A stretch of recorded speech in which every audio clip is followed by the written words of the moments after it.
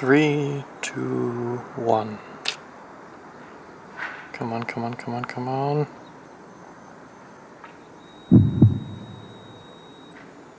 Oh.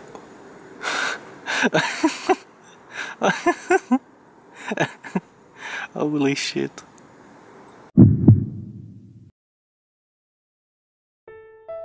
Ever since I started with photography, I tried out lots of fun things.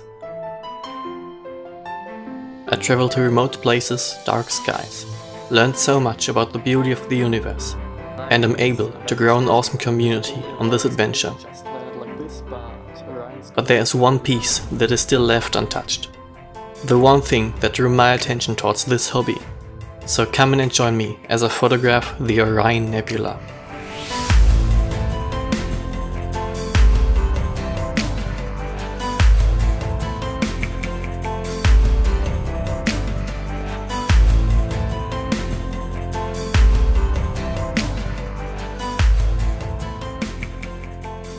Hi Astro Addicts, my name is Tim and welcome back to Astro Addict. This night is a very special night, you've already heard it. It's the target, the object that drew me into this hobby. You could say this object is the reason why I started with astrophotography. So this is a very big deal tonight. If you're not familiar with the constellation Orion, does NGC 1976 tell you anything? It doesn't ring? No? How about M42? And if M42 still doesn't ring any bells in your astrophotography brain, it's the Orion Nebula. The core of the nebula is very bright. It's so bright that we can see it with our own eyes. In Bortle 8 skies we just see a small star, but if you go to dark skies or have your camera at one second exposure, really start seeing this wide field of glowing something. And I've got the camera now at 3 minutes subs, 180 seconds at ISO 800 and the core of the nebula is just recorded as pure white. Tonight I'm gonna take 3 minutes subs for the faint outer details of the nebula and tomorrow, same time, same day, same night, same location, I'm just taking 10 second exposures to get the detail in the core and then I'm gonna create in Photoshop a high dynamic range image because that's the most important thing in my mind if you want to shoot a Orion because getting the detail in the core and in the outer edges it's very hard to do and very rewarding. You wanna see what I got so far? Let's check it out. Let me get you a look, a good look at this. The camera sitting right back there, telescope pointing at, well, exactly there. So telescope pointing at the Orion Nebula, of course. Constellation Orion. Oops, gotta sit down right.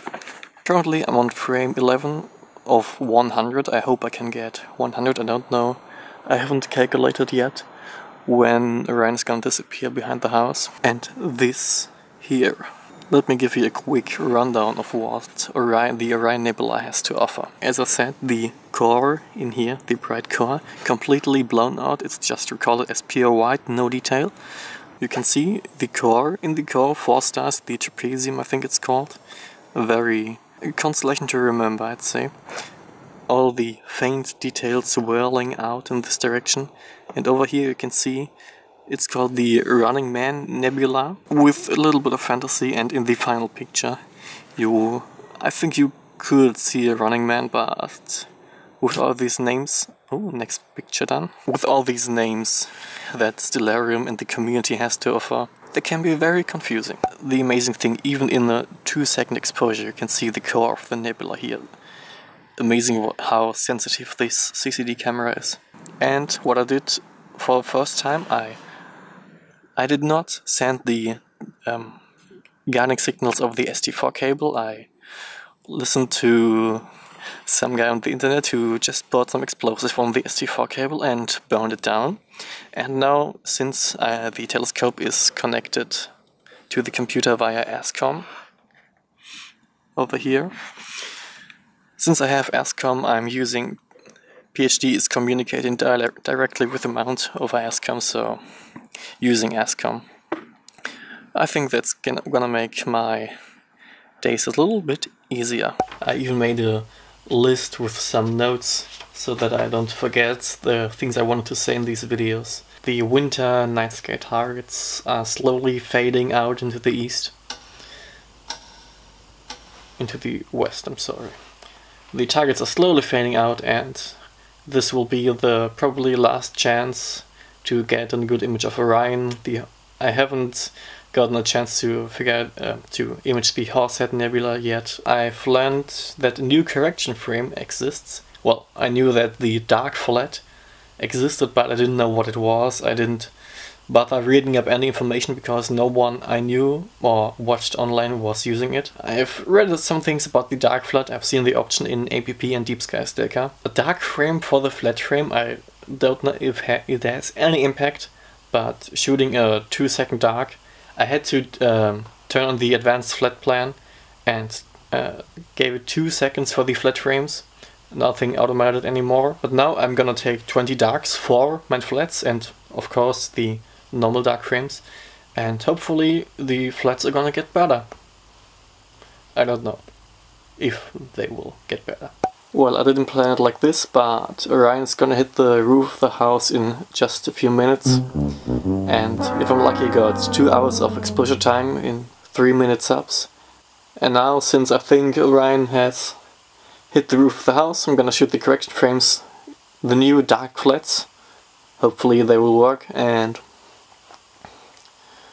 same procedure tomorrow.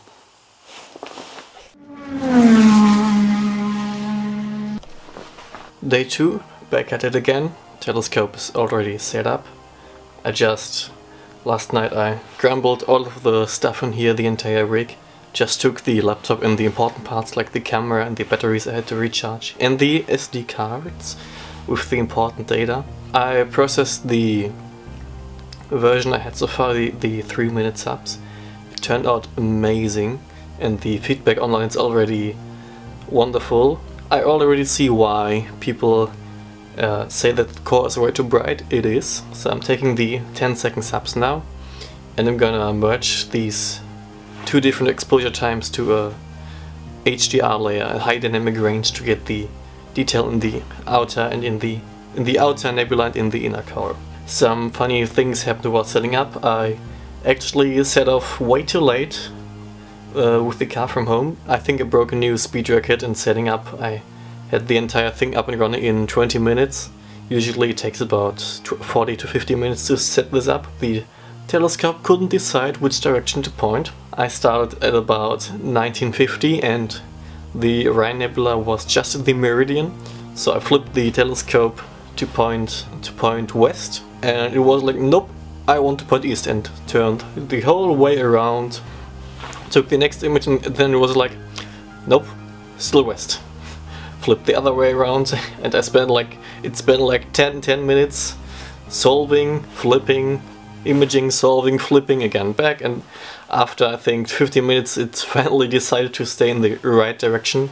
I don't need to perform the meridian flip now but this back and forth was quite funny to look at. I'm a strong believer that the HEQ5 can manage 10 second subs without auto guiding, but I really want the dithering in there to avoid the readout noise and the Bayer noise, I think it's called. I don't want the vertical lines in there, so best go with dithering, which is taking a lot of time, because every 10 seconds a dither of 10 pixels, I set it to 10 pixels. I think PhD is freaking out in that manner, every 10 seconds a dither and then re um, reset the star again. But I think it's doing alright. I'm already at frame 30 of one. I set it to 1000 frames for this night.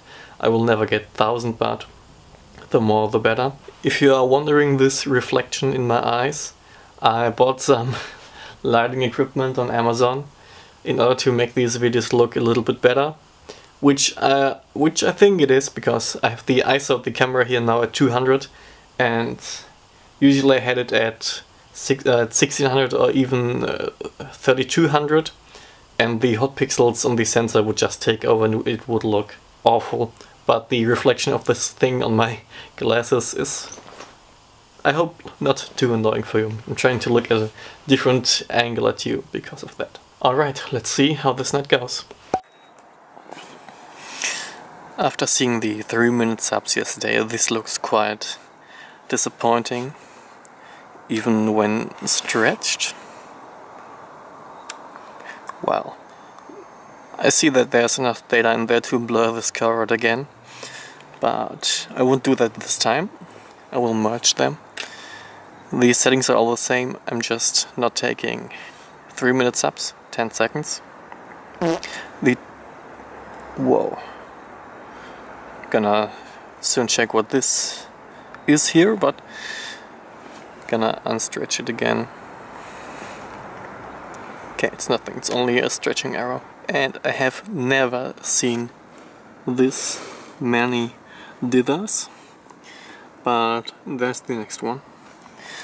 But I'm sure it will work, I'm, and I'm sure it will help. And one thing I wanted to show you, I just tested that out the sensitivity of this camera and now I'm gonna uh, ruin my auto gain completely. I just switched to 15 second exposures on the small Altair cam. Let's look what this will give as a result. Well, the sensitivity on this thing is just amazing. Now let's get back to one second before everything crashes and explodes on me. Alright, let's see how many images we will get tonight. Just one last thing I wanted to mention. The response on YouTube and Instagram is overwhelming right now. We hit over 500 on YouTube subscribers, which is amazing, and over 1k on Instagram just in a matter of half a year. That's really astonishing to me. And I believe with pictures like these that I just kept it outside, it's gonna grow even more, I hope so at least. And I always try to make these videos as entertaining, informative, but entertaining as possible.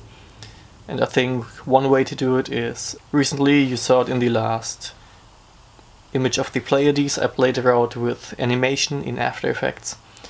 And I think I can really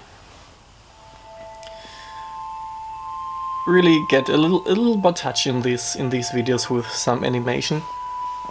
And the last thing I want to say of course, it's very a nostalgic trip because the Orion Nebula is the object that drew me into this hobby. Images of Trevor Jones from Astro Backyard, for example. These images really, really turned me on for this hobby, you might say. Back one year ago in these days, one artist published a track, a song, which I knew I was going to use eventually if I'm gonna shoot the Orion Nebula and I've waited now one year to use this song and now it's finally the time for that.